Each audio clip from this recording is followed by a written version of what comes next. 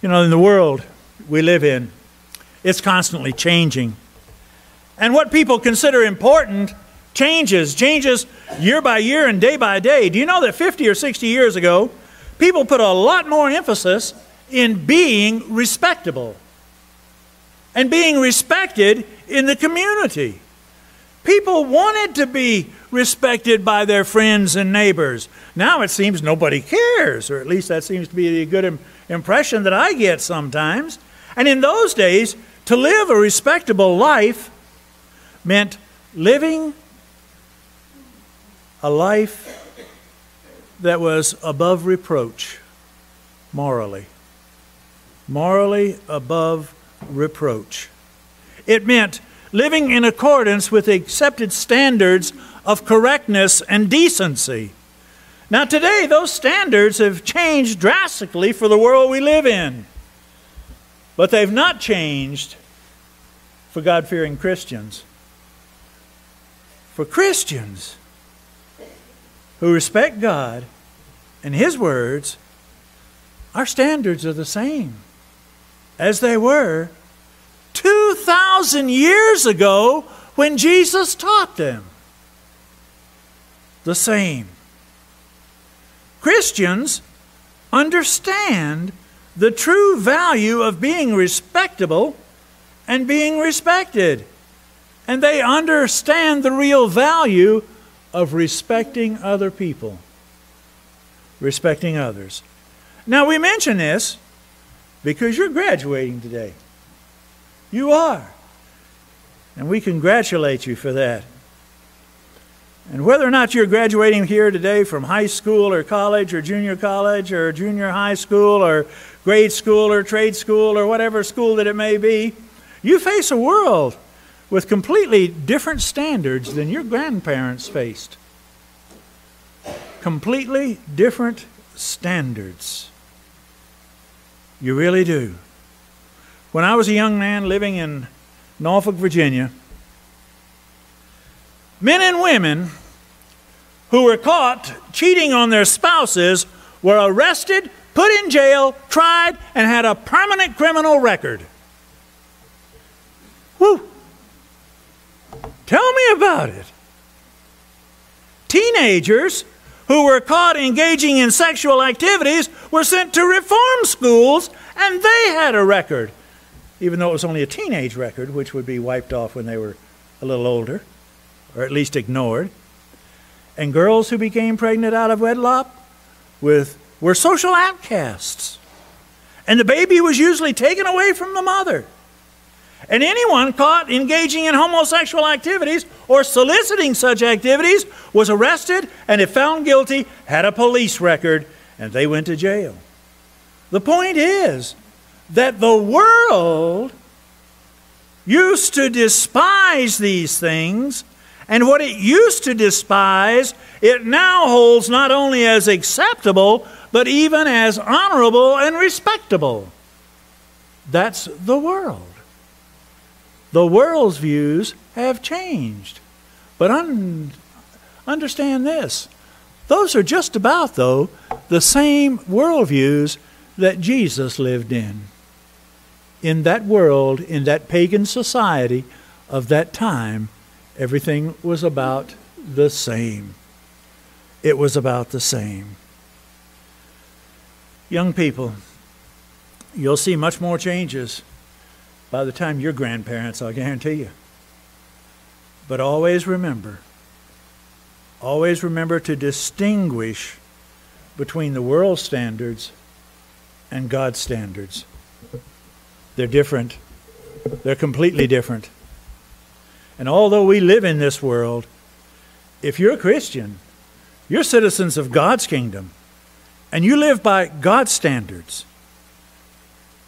Now, Paul had great concern for young people and what they valued and how they lived, as is illustrated by his words to a young preacher living in a very pagan world 2,000 years ago.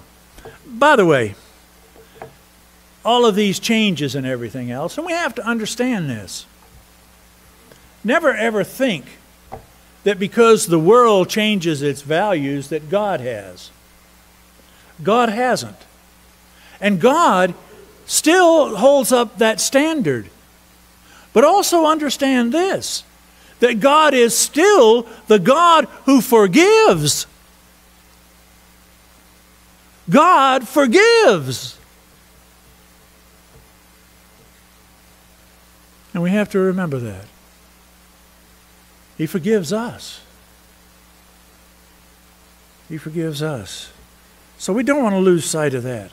But the thing is, we also don't want to real, lose sight of the fact that God does have some standards, and He wants us to live by them. And He encourages us to live by them. The problem is, is that we get caught up in the world. In the world and its standards.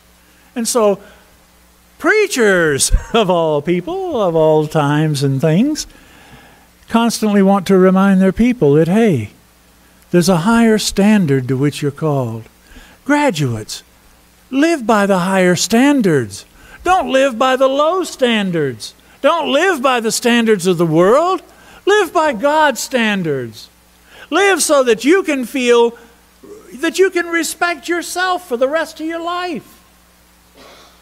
That you won't have something that's going to be lurking in the back of your mind that you wished you'd never done. Just don't do it. And you'll never have to live with it the rest of your life. And never have to be embarrassed about it when somebody even mentions it.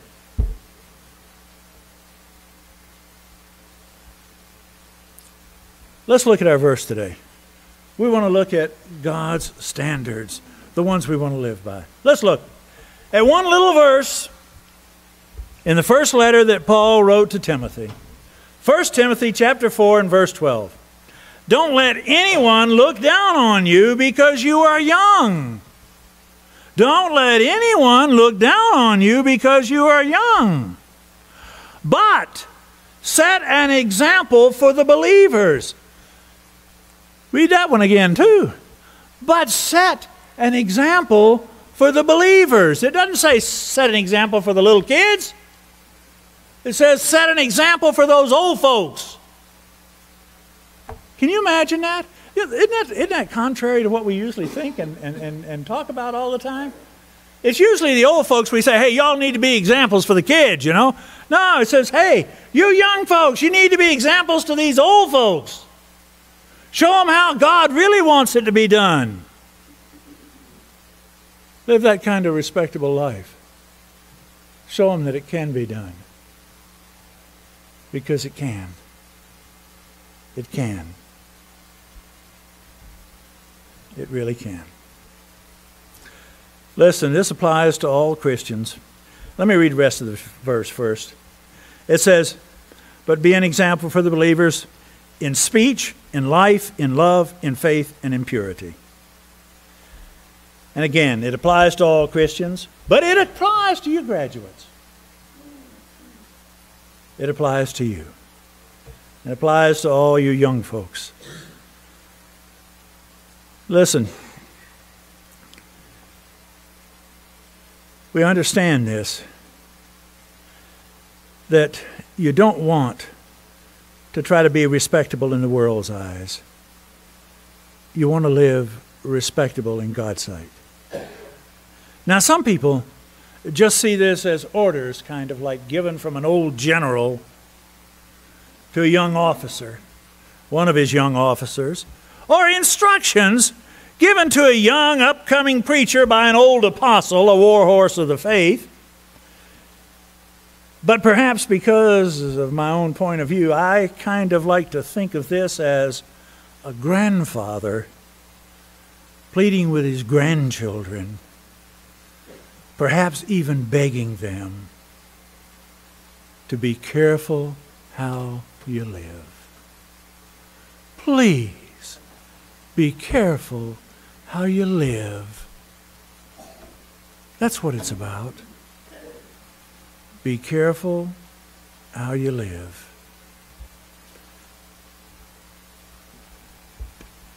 What the old grandfather wants is for his grandchildren above all else to live for God. Now, what Paul is saying is this live respectably. Don't let anyone look down on you just because you are too young to know the difference between what is right and wrong in the Lord's sight. Don't let anyone look down on you because you act childish.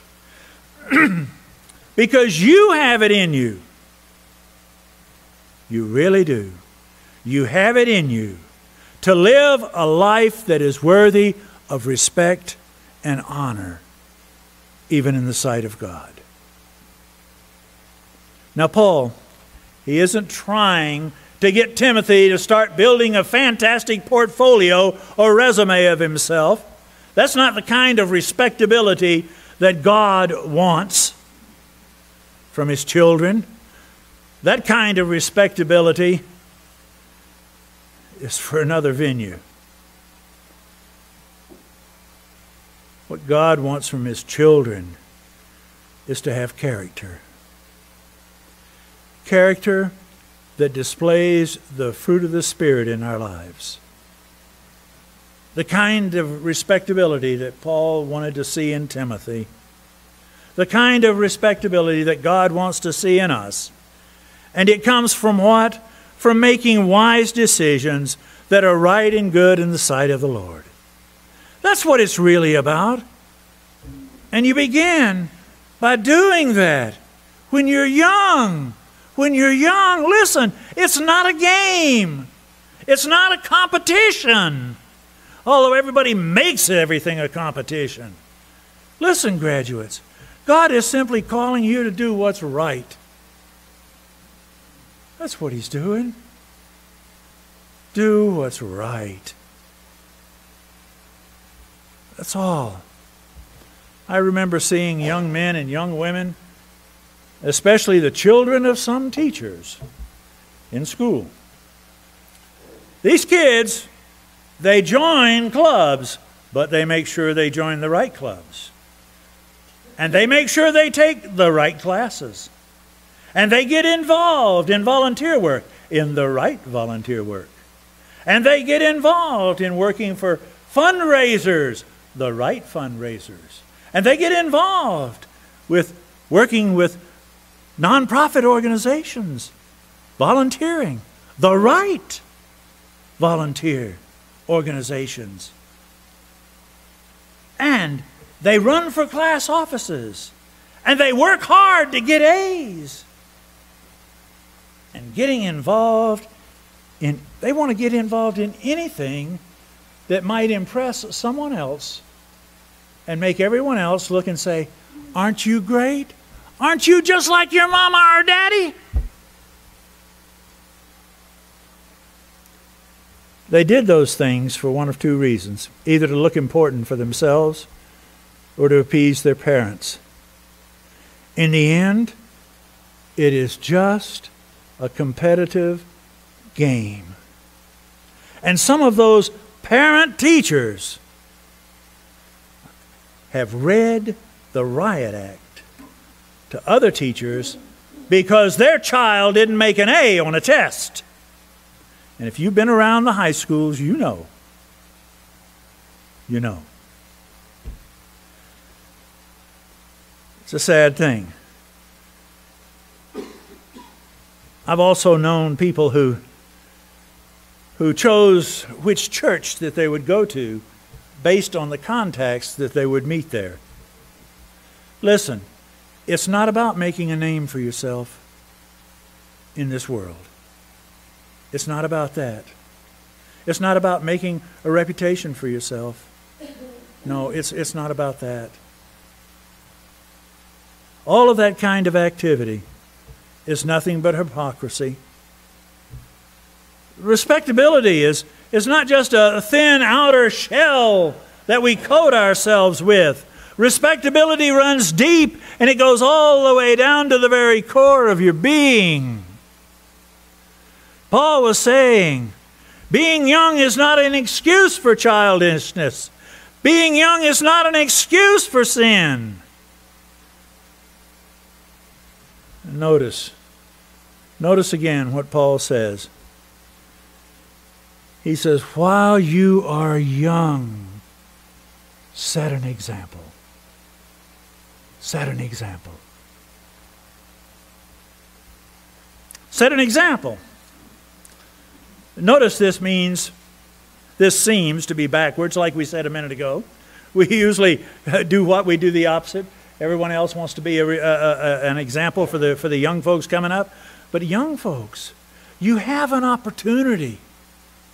You can stand out as a Christian. You can stand out for Christ Jesus. But you can't do it if you want to be first. You only do it if you let Jesus be first. You can only do it if he's first. Listen, Paul places the responsibility of being an example on this young man.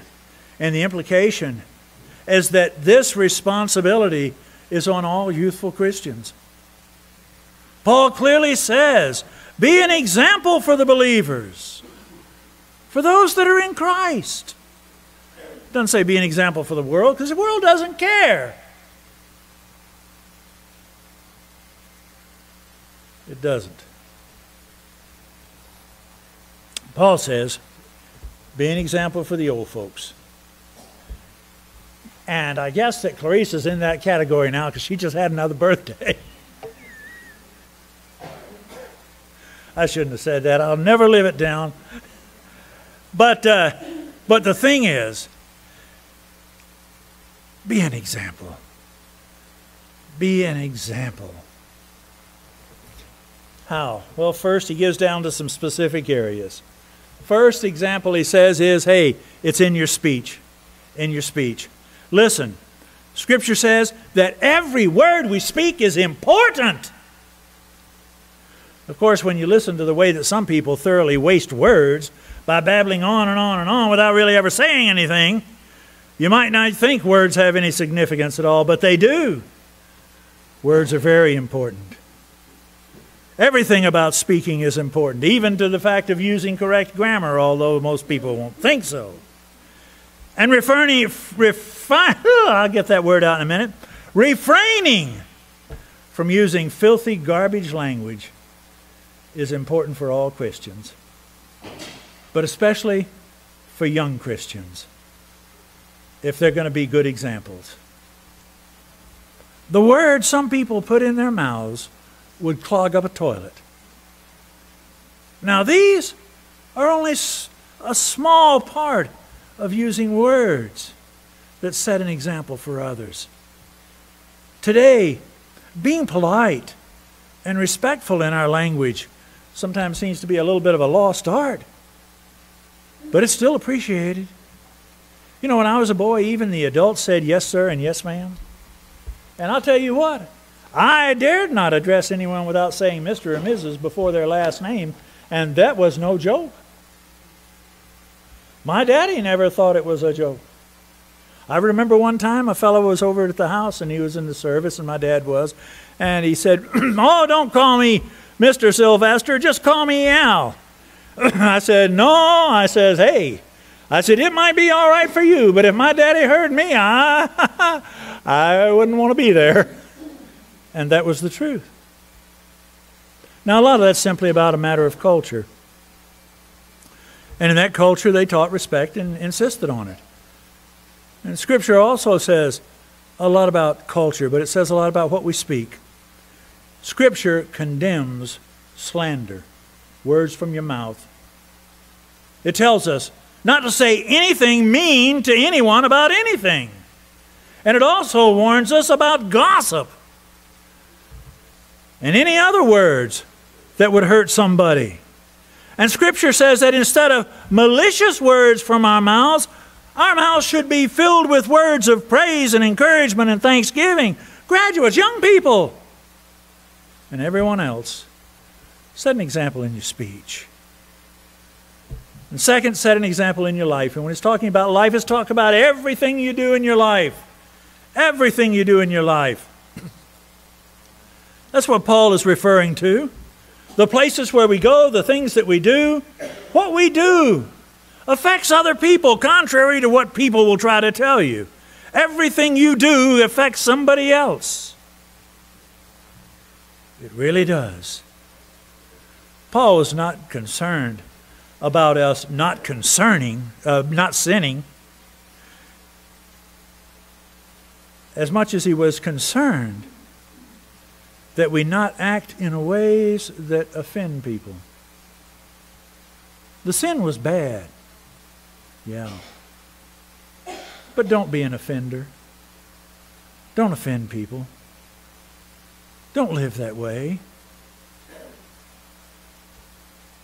And it was so Paul was so so concerned about that he even talked about eating in the church and orderly worship and meat sacrifice to idols and he said, "Listen, just live a life that brings honor to God.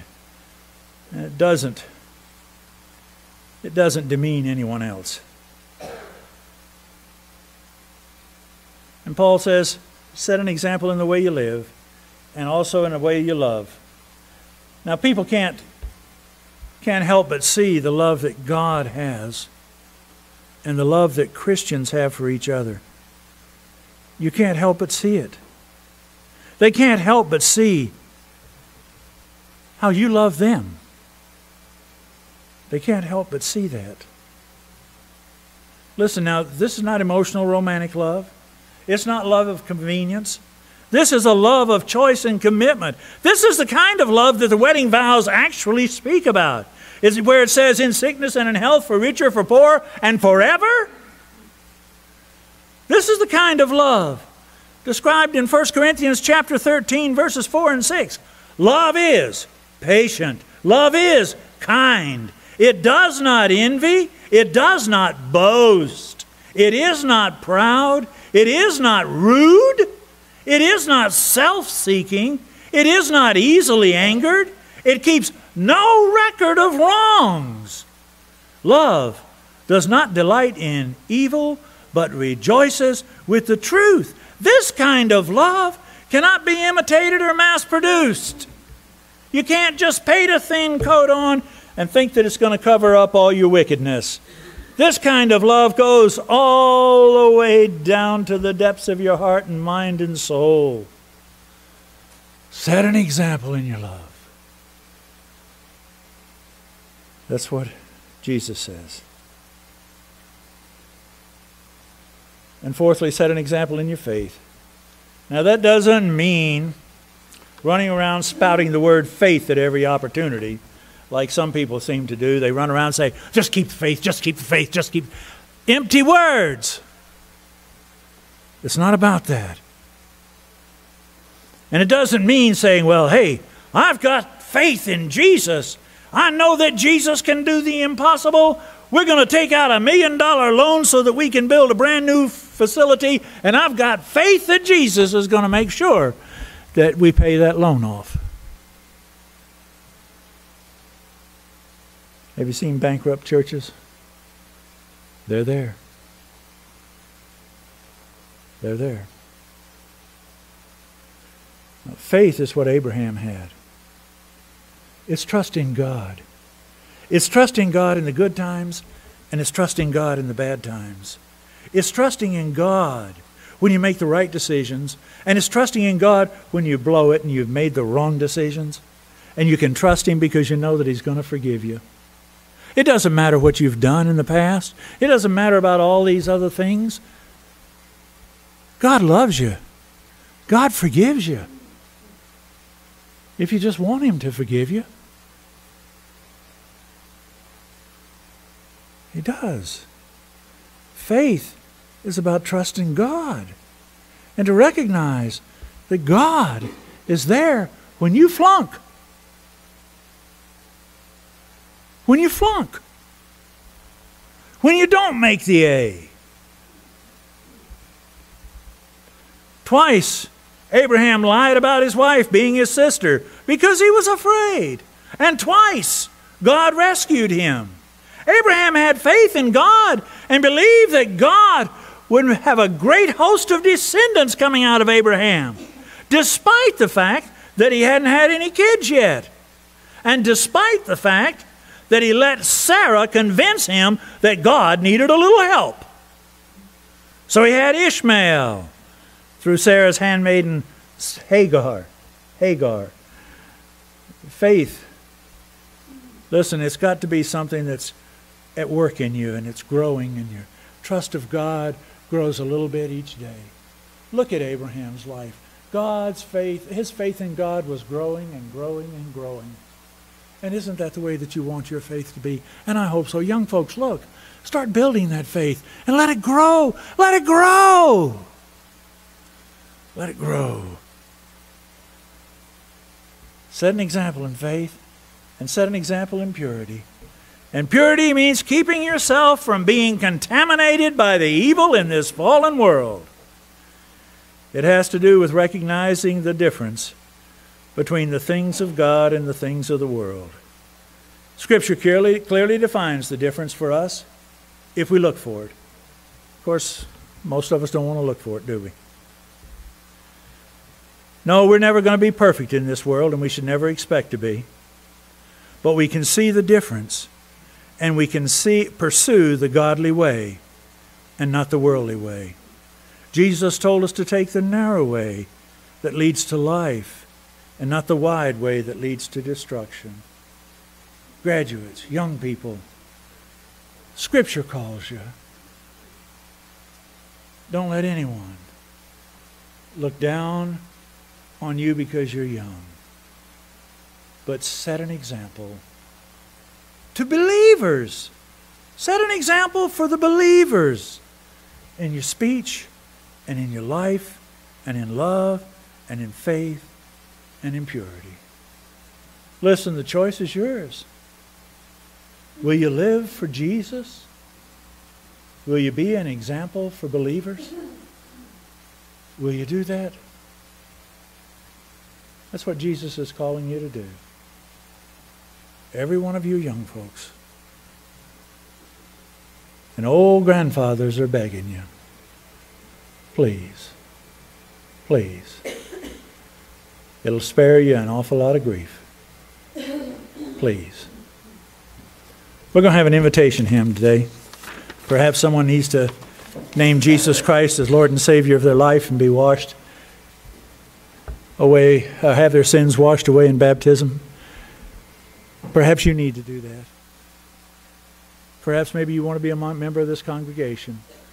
We're going to have that invitation now. Jimmy, if you'll come and lead us. And uh, if you have a decision to make, please come forward. Jimmy? Shall we stand? Number 404.